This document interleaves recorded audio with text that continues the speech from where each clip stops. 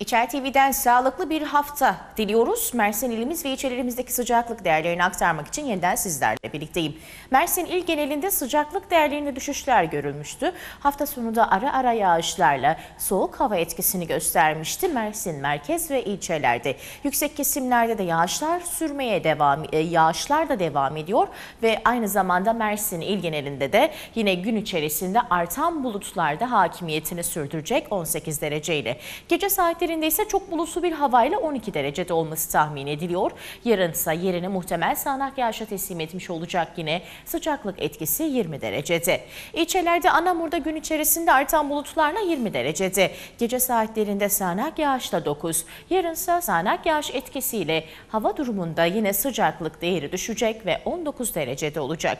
Aydıncık gün içerisinde artan bulutlarla 18 derecede. Gece saatlerinde çok bulutlu 8. Yarın ise yine sağanak yağışla birlikte 17 derecede. Bir sonraki ilçemizde Bozyazı'da da yine artan bulutlar etkisini gösteriyor. Gün içerisinde 20 derecede. Gece saatlerinde sağanak yağışla 9. Yarınsa yine sağanak yağış hakimiyetiyle 19 derecede olması tahmin edilen sıcaklık değeri.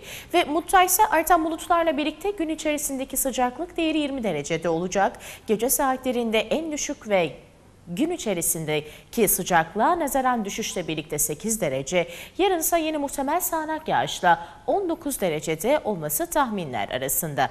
Günler gün içerisinde artan bulutlar hakimiyetiyle 17 derecede. Gece saatlerinde çok bulutlu 8, yarınsa yine bulutlu ve güneşli 16 derecede. Sıcaklık etkisini Silifke'de de yine düşürüyor artan bulutlarla 21 derecede. Gece saatlerinde bulutlu bir havayla 12, yarınsa yine muhtemel sağanak yağışla birlikte 20 derecede olması tahmin edilen sıcaklık değeri.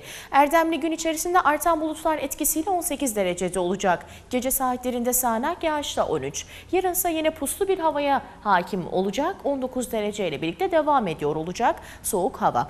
Tarsus artan bulutlarla 18 derecede, gece saatlerinde çok bulutlu 12 ve yarınsa yine muhtemel sağanak yağışla birlikte sıcaklığın 20 derecede olması tahmin ediliyor. Meteorolojiden aldığımız genel bilgiler doğrultusunda hava durumu tahminlerini sunduk.